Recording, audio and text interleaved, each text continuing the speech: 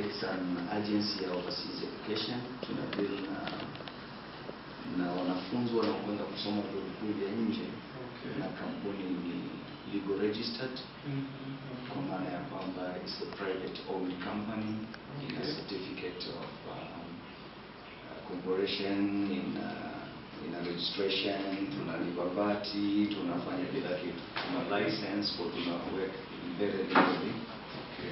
Na kampuni ilisajiliwa mwaka elfu mbili na saba Okay. na kwa hivi leo tunavyoongea manake ni mwaka wetu wa kumi katika tasnia hiyo. Wakati tuna tumejenga kampuni, tumekuwa na misingi mitatu mikubwa Okay. katika kazi zetu. Okay. Kwanza ni hilo meja, kumekuwa na changamoto kubwa ya wanafunzi wa Tanzania wanaotaka kusoma nje ya nchi, na the main issue. Kumekuwa hakuna taarifa zilizo very straight zenye kuwa favor either beneficiary kwa maana ni wanafunzi ama wazazi wao ama taifa kwa ujumla. Sasa tukaona there is no logic tuendelee nchi kutokuwa na platform ambayo inaweza kutoa taarifa za msingi. Kwa hiyo tukasema hiyo iwe ni moja ya kazi yetu kubwa ya kwanza.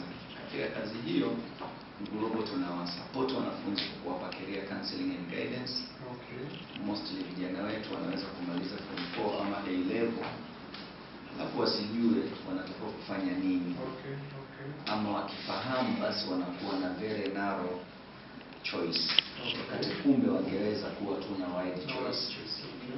Lakini jambo jingine ni hilo, mtoto anasoma PCB ama PCM alafu anafeli mathematics akijua tu kwamba physics itambeba, ama anataka kuwa daktari anafeli physics akijua tu kwamba chemistry na biology yenyewe zitambeba. Hii imekuwa ni taarifa ambayo tulijua kabisa isegep, na in future wanafunzi wengi wanaweza wakashindwa kufikia malengo yao, si kwa sababu wamefeli, lakini kwa sababu wamefeli yale masomo ambayo ndio uti wa mgongo katika hayo na mambo mengine mengi.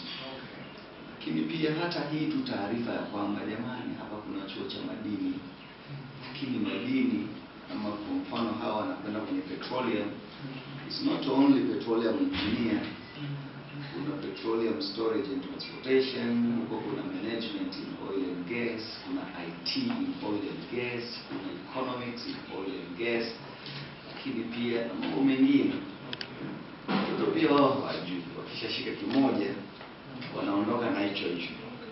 Sasa hii ilikuwa ni sehemu kubwa ya kwanza ambapo tuliamua kukutana kwanza kwa taarifa, kwa maana ya wanafunzi jinsi wanaweza kwenda nje, lakini la pili katika hilo ni sasa hivi visa zinapatikanaje, hizi scholarship zinapatikanaje?